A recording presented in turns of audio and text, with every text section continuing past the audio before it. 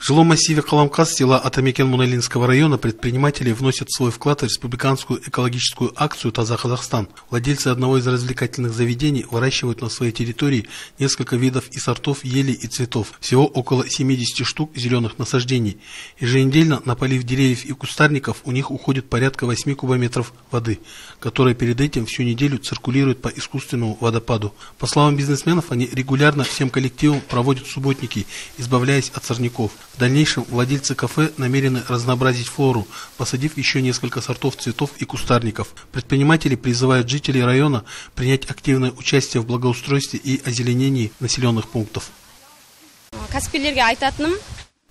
Хочу сказать всем предпринимателям, нам нужно поддерживать чистоту не только на своих участках, но и по возможности на улицах сел и городов.